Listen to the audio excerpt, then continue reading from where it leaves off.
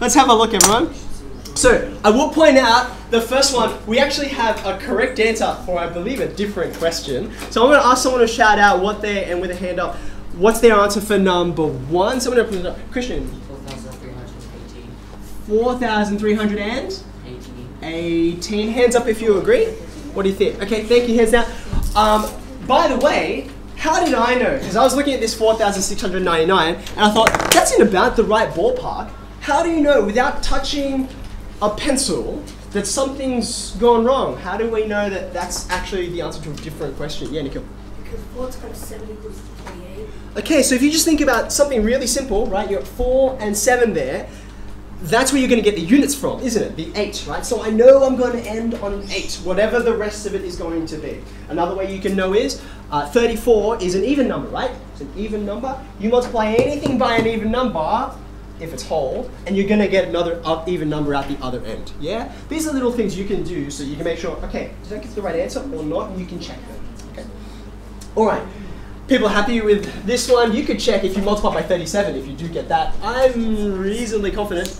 Ends in 9, which I definitely should. Uh, number two, hands up if you think 31 remaining 2 looks good. Hands up, hands up straight. Ooh, I have a much smaller number of hands up. Maybe what I'll do is I'll ask you to raise your hand if you did that question you felt confident with it. Hands up straight. Hands up straight. Yeah, about the same number. Okay, hands down. What I want you to do with your pen there is let's walk through how we're going to do this long division because long division is a skill we looked at a while ago. Maybe you've forgotten. That's okay. 16, 500. Someone give me a suggestion for what their first, very first thing that they put on the page will be. Any suggestions? Real. Yeah, I'm going to put a zero right in the front. What does that zero signify? What's it about? Yeah, Turun. Signify that as 16 can't be divisible into 5, so you use the next one. Very good. I can't fit any 16s into 5, and so I put that 0 down to mean that. You guys know we don't just go through these steps for any random reason or because that's the steps that we go through. We want to know what every part of it means. Okay, what's going to happen next? Someone else who hasn't said anything yet. Takers? Yeah, Nigga, what would you put down? Um, we 16, Okay, how many times does 16 go into 50? And a 16 times table's not that common, but do you think, yeah, Nico, what would you put in? Three, very good. Because you can go 16, 32, what's the next one? 48. 48, and then you know you're not going to fit in anymore. Okay, so 48, I'm going to write down here, three 16s. Now what? Now what? Yeah, Nikhil? Okay, I'm going to subtract, which gives me? Two. We're doing well this morning. Good job, guys. Long weekend. I'm almost there at the end. Maria, what am I going to do next? Okay, because just like at the start, no more 16s fit into our number, two. I need to bring in zero to increase the size of my number there, yeah. Okay?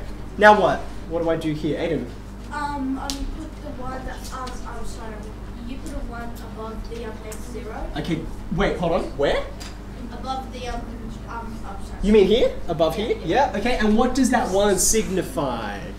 Any takers? Hmm. Daniel, can you tell me what that one's about? it's a bit tricky, isn't it? Yeah. Renesh, do you want to help him out? The 16 only once.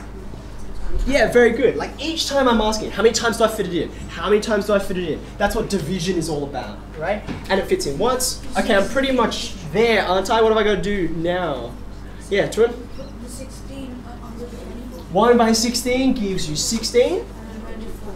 Okay, so you can see I was very close. We pretty we got the important bit, didn't we? Sort of. That we know we can fit in 31 times, and it's just that little bit at the end, but well done.